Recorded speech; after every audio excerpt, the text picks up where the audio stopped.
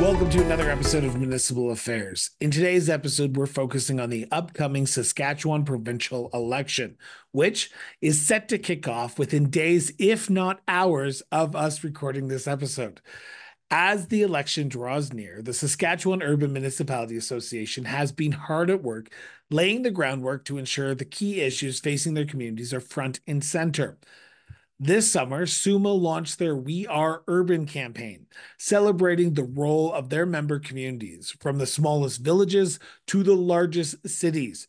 Through billboards across the province and an active social media presence, the campaign highlights the vital services, facilities, and landmarks that make urban municipalities essential hubs for residents and surrounding areas alike.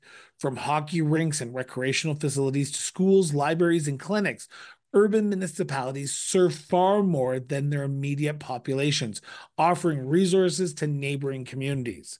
So, joining us for today's conversation is SUMA President Randy Goulden, who recently sat down with us and discussed that We Are Urban campaign and shared what SUMA hopes to hear from the provincial leaders during this upcoming provincial election. Attention, Saskatchewan. This election season, Municipal Affairs is hitting the road in partnership with SUMA for the Saskatchewan provincial election. Join us on election night for live coverage straight from Regina on YouTube featuring exclusive insights from municipal leaders and stakeholders across the province. We will be capturing their reaction to the results and be diving into what the new provincial government means for municipalities. Plus, this fall, we will be traveling across Saskatchewan to hear directly from local leaders about the issues that matter most to you. Plus, this fall, we will be traveling across Saskatchewan starting September 30th to hear directly from local leaders like yourself about the issues that matter most. This is your election covered like never before. Municipal Affairs, your trusted voice from the grassroots to the government. Randy, thank you so much for doing this once again. I want to just take a moment and start from before the summer, if you don't mind. Uh, prior to the summer kickoff, uh, SUMA launched their We Are Urban campaign with billboards, a social media platform campaign. Where did this campaign come from, and why was it important to let residents of Saskatchewan know that we are urban? Well, thanks, Chris, and I hope you had a great summer. And I hear you uh, spent some time in Land of the Living Skies here in Saskatchewan. And and uh, as you know, uh, SUMA is the voice for our urban communities. And in Saskatchewan, we have, you know, right now we have 463 uh, members that are urban. So, you know, we have the resort villages. I believe we have uh, 13 of those. We have many of the villages. We have 233 villages, 147 towns, 16 cities, and 16 northern municipalities. So we're scattered right across the whole province. So the We Are Urban really brought attention to what happens in our urban municipalities. And it also will lead now to our provincial election um, strategy that we have, because we're hearing from our members that there's so many new pressures on our, our municipalities. Um, and that's what we want to bring attention to. We want to bring attention to everything that goes on here, really the economic hubs, the uh, program suppliers, the service uh, suppliers, uh, but the fact is, uh, we can't do this alone. You, you talked about how your members were really passionate about the We Are Urban campaign, but it's not just the members who are going to be voting in the provincial election, it's also the residents of these urban communities that you represent. Did you get a sense that the people of Saskatchewan were actually paying attention to the campaign as well? Well, the campaign really highlighted with our billboard program, especially, um, you know, not the big cities uh, but the towns um, that, that play such an important role. And it brought pride, first of all, with our municipal um, leaders in those communities and throughout the province. The social media campaign was picked up by everyone. Um, I was hearing from people throughout the province uh, saying, yeah, this is what's happening in our community and we're so proud of it. So that will also lead into, you know, the candidates running um, in the provincial election, they're hearing about that uh, because it can't be just our um, you know, our elected officials that are talking about this. We need to have everybody talking about this and how important it is uh, that we're economic generators, but we're sustainable. So we are hours, if not days, away from this next provincial election kickoff. Premier Scott Moe, uh, NDP leader Carla Beck, and the Saskatchewan United Party, all three parties who have uh, seats in the Legislative Assembly as of uh, the dissolution, which will be coming in a few days. Um, is there a main theme that you're hoping the party leaders will address in their platforms or during the 30 days campaigns up until the October uh, vote? Well, we've identified one key uh, theme that you're going to be hearing and seeing from SUMA, uh, who, uh, uh, when we're talking about our municipal members, and that's around municipal sustainability and municipal autonomy. Um, you know, we are definitely seeing the pressures around that one main theme. Then we have some underlying things that you're going to be hearing us as we talk about that one main theme, autonomy and sustainability. We're going to be looking at our revenues, our revenue streams. We're going to be looking at our responsibilities and what we're being asked to do. Um, and we know what we're being asked to do in the acts that we have. We have three acts, the Northern Act, the Municipal Act, and the Cities Act. And you can see clearly in those acts what we're supposed to be doing. And the third underlying issue comes from that those acts and uh, our responsibilities and the fact that there's more and more being downloaded on our municipalities. And most of those times without the funding that should come with it. So during the SUMA convention in Regina earlier this year, I had the pleasure of sitting down with about 10 of your may- uh, member mayors and members from across the province. And they were talking about, when I asked them what they're hoping to hear from, healthcare funding, uh, infrastructure funding. It all comes down, down to sort of municipal revenues and, like you said, that provincial municipal responsibilities do you think you're going to hear from the party leaders or is SUMA going to be sitting down with the parties to address these issues one-on-one or are you hoping that residents will address these issues when they come door knocking? How do you hope to get this message in front of the party leaders? Well all of everything you said chris because i think it's a shared responsibility. Uh, definitely we will be sitting down and we will be taking these questions um, you know, to all the parties and party leaders and candidates. So in that election platform on our website, you'll see there's the opportunity for councils and elected officials to download um, letters and, and uh, social media strategies, but it's also available uh, to the public to see those things. So if they feel that they want to write a letter or if they just want to get some information, they can, because we're going to be seeing those candidates throughout our municipalities, whether they're at special events, and we're seeing them already all summer long, uh, or they're holding all candidates forums, um, or you can send a letter to your editor or do some social media. So all that is available uh, for our elected officials, but also for the public uh, to be able to do. So when there's somebody that's door knocking, and we know we'll be seeing those, you know, you can ask those questions. You know, I live in uh, the city of Yorkton. What will you be doing? Um, you know, there's been announcements coming for the last five years. Yorkton is going to get a new healthcare facility. So, why is there so much of that share being downloaded to our municipality to pick up now? When you look in our act, it says nothing about healthcare you talk about municipal revenue, and I want to just stick on that point for a second, if you don't mind, because SUMA alongside FCM have been calling for the three levels of government to sit down at the table to address the revenue sources because right now you you as municipalities traditionally have property taxes and grants to offset the uh, revenues that you have or that's all yeah. you have to offset revenues what specific item are you looking for for the provincial government to expand to allow municipalities to have more revenue sources and streams into their municipality? Is there a specific item you're looking at or are you just looking for them to come up with the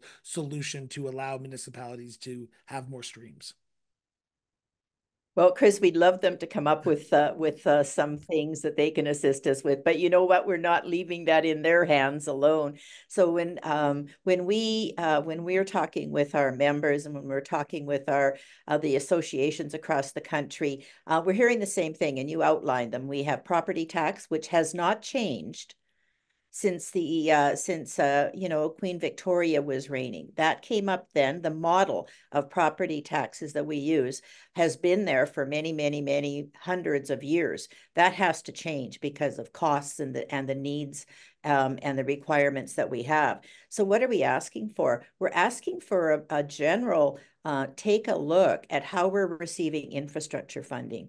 This business where we apply, we need engineering documents, and then we're getting turned down and we've expended dollars and we're not getting anything for them. That's just not on the table anymore. We need to be very specific with the infrastructure needs we need. And, and uh, the other thing that we're seeing, it's the infrastructure definitely. So I'm going to just give you an example for my city, the city of Yorkton, you know, 16,000 people our underground infrastructure, whether it's drainage or water or sewer, um, if we laid those linear assets out, it would go from here to Vegreville. That's a long ways. And that's a lot of pipes and maintenance and roads and sidewalks that we have to maintain. Um, so when we're looking at that, we need some assistance from the other orders of government and they can work together on this uh, and providing that. So we're asking for that, that new generation um, of infrastructure funding. That is definitely something that we need to see. And then we need to see if something is being downloaded on us, then the, the accompanying dollars should be coming with it. Because more and more we're asked to do these things and not have any of the funds that come with us sort of off topic here for a second, but it's uh, kind of what the provinces are doing to the federal government right now because the federal government has announced an increase to asylum seekers to the provinces to house them, and the pr- province is asking the federal government for more money to address them. It's similar in that vein. So, what's good for the goose is good for the gander at the end of the day, right? Well, and of course, Chris, that's a great example. So those uh, those people that would be moving, well, they're moving into our communities and they're going to uh, require housing. And our communities, we don't build houses, but we have to supply the infrastructure, the water, the sewer for those homes that may have to be constructed or the the uh, the housing that's already there. Um, you know, they're going to, the new people are going to need recreation services. They're going to need other services that our communities have to uh, have to provide. And we want to provide that. But uh, so the, you know, the province is saying to the feds, you need to send us the money. Guess what? Everything lands in the municipal uh, areas of our country. And that's exactly what we need. So I'm going to assume that when the province gets those funds that they're asking for, they will be sending them to our municipalities. I'm optimistic keyword there. Um, I want to talk about downloading for a second. Is there one item in particularly that you want the province to re-upload? Because again, at SUMA, when I was talking to members, they were talking about things that have been traditionally in the provincial purview, but have been sort of taken been taken over by the municipalities, whether that be the province passing them along or the municipalities just needing to address them because the province isn't doing it. Is there anything that particularly that you're looking for the province or the candidates or the parties to address to say we will take this back from the municipalities to address it ourselves? Well, and you know, Chris, it's not just one thing it's a combination of things. But I know that when you were in Saskatchewan, you heard from our our municipalities, our members, the the the concern that we have around mental health and addictions. Um, this is certainly not in the purview of municipalities. We do not have the funds. We do not have the expertise. But more and more, this is happening in our communities, and we're seeing it experienced right across the province. Does not matter where you are or the size of your community. Um, and, um, you know, the, the provincial government is definitely, they're working hard on recovery and treatment beds, but there's so much more.